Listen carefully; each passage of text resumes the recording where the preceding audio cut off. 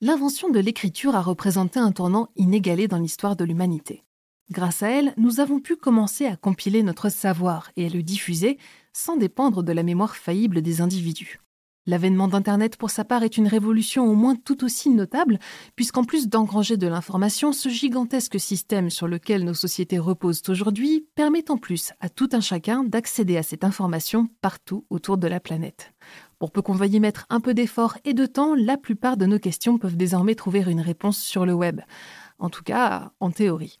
Car vous vous en doutez, cette utopie numérique présente bien des faiblesses et l'avenir d'une information objective et fiable en ligne est loin d'être garanti.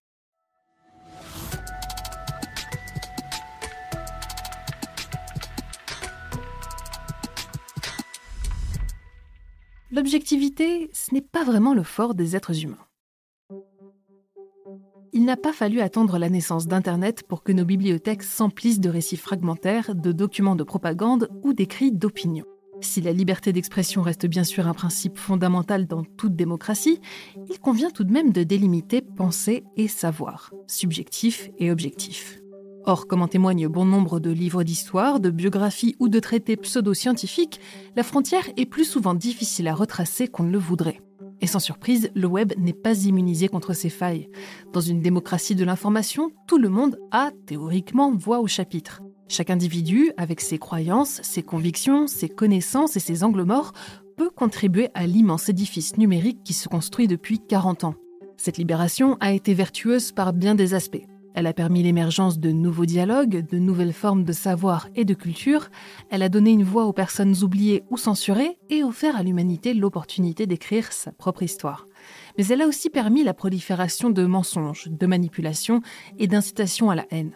En l'absence de garde-fous, tout discours peut être présenté comme une information objective et se répandre à une vitesse phénoménale, boosté par des utilisateurs naïfs ou complices et des algorithmes visant à captiver votre attention coûte que coûte. La première menace qui plane sur Internet, c'est donc ces internautes. Alors petit conseil, pour ne pas contribuer à cette confusion collective, n'hésitez pas à bien vérifier l'authenticité d'une information avant de la publier ou de la relayer. Ou même tout simplement avant de la stocker dans votre cerveau. Et si vous partagez une opinion, ayez l'honnêteté de bien le signaler. Même avec ces pratiques en place, nous sommes encore loin d'être au bout de nos peines, car une nouvelle tempête bien plus imprévisible se dresse devant le web, l'intelligence artificielle. L'explosion des IA génératives l'année dernière l'a bien démontré. Nous sommes en train d'entrer dans une nouvelle ère où le vrai risque d'être de plus en plus difficile à démêler du faux. Deepfake audio et vidéo, génération d'images photoréalistes, chatbots qui hallucinent des informations plus ou moins vraisemblables, dénués de tout compas éthique ou même d'une véritable compréhension de la façon dont se structure le savoir, les IA brouillent toujours plus les limites du réel. Et tandis que les chercheurs continuent de peaufiner leurs algorithmes en leur donnant tous les outils pour mieux tromper notre perception, la législation sur le sujet est peine à suivre. De nombreux experts ont déjà tiré la sonnette d'alarme quant au risque de désinformation, volontaire ou non, mais également d'ingénierie sociale, c'est-à-dire de manipulation à des fins d'escroquerie. L'avenir nous dira s'il y a tuer pour de bon la démocratie de l'information, mais en attendant, redoublez de vigilance en ligne, en particulier si quelque chose vous semble captivant. Si la désinformation présente déjà des risques conséquents lorsqu'elle est pratiquée de manière accidentelle ou à un niveau individuel, elle devient d'autant plus dangereuse lorsqu'elle s'inscrit dans un programme de propagande systématisé. Médias et industries disposent chacun de moyens conséquents pour supprimer des vérités dérangeantes ou diffuser massivement une vision biaisée de la réalité.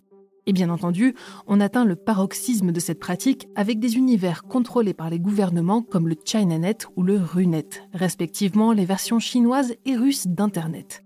Chacune présente à l'utilisateur un écosystème bridé, bannissant un nombre plus ou moins important de sources d'échanges et d'informations et poussant évidemment en parallèle leur idéologie nationaliste.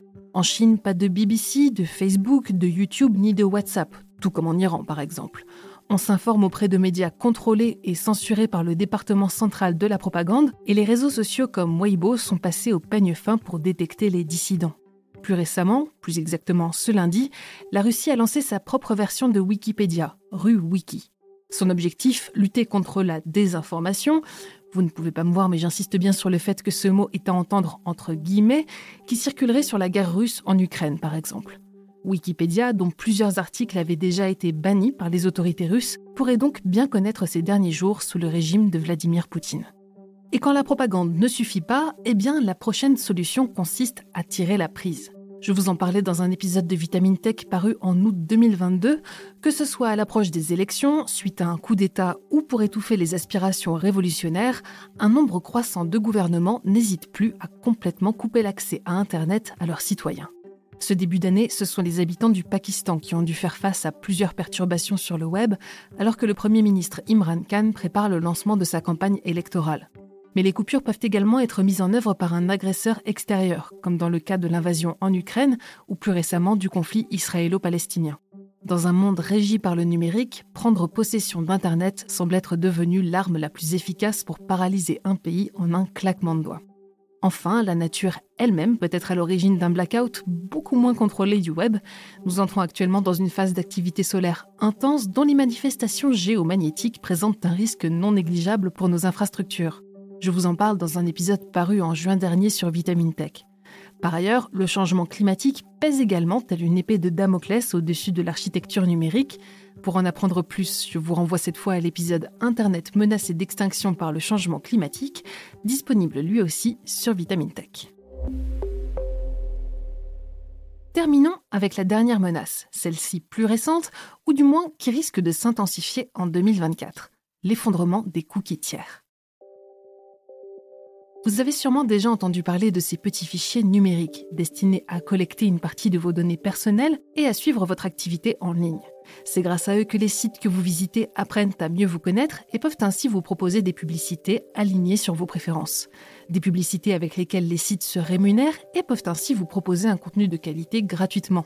C'est par exemple grâce à ce modèle qu'en 2023, Futura a pu vous proposer 250 nouveaux épisodes de podcast, plus de 6000 articles ou encore 240 vidéos dont plus de 99% sont accessibles sans abonnement. Et c'est pour cela que des sites comme Wikipédia, qui n'affichent aucune publicité, dépendent impérativement des dons de leurs utilisateurs pour continuer d'exister. Néanmoins, à mesure que l'UE et d'autres instances réclament une plus grande transparence mais également une plus grande protection de la vie privée des internautes, les jours des célèbres cookies, du moins des cookies tiers, ceux placés par les partenaires commerciaux sur vos sites favoris, sont comptés. De nombreux sites, et en particulier les médias, vont donc revoir en grande partie leur fonctionnement économique et probablement se rabattre sur un modèle d'abonnement, comme le font déjà les plateformes de VOD.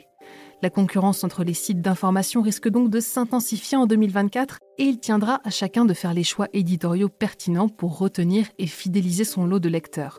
Cela mènera probablement de nombreux acteurs à prioriser certains sujets plus que d'autres, à délaisser les informations jugées peu sexy, voire à s'engager dans une course au divertissement plutôt qu'à l'information, afin de maintenir la vitrine la plus attrayante possible.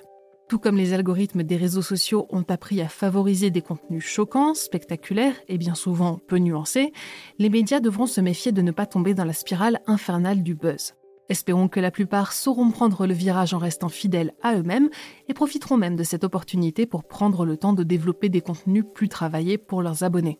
C'est en tout cas la décision que nous avons prise chez Futura en lançant l'abonnement pour toutes les personnes qui souhaitent nous lire sans pub et en apprendre toujours plus sur le monde qui nous entoure.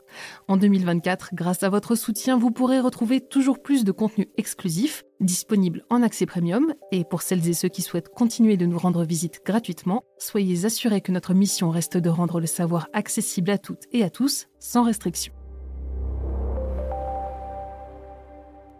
C'est tout pour cet épisode de Futuratech. Pour ne pas manquer nos futurs épisodes, abonnez-vous dès à présent à ce podcast et si vous le pouvez, laissez-nous une note et un commentaire. Cette semaine, je vous recommande notre dernier épisode de Bête de science dans lequel Gabi Fabresse vous parle de l'intelligence étonnante du cheval. Pour le reste, je vous souhaite une excellente journée ou une très bonne soirée et je vous dis à la prochaine dans Futuratech.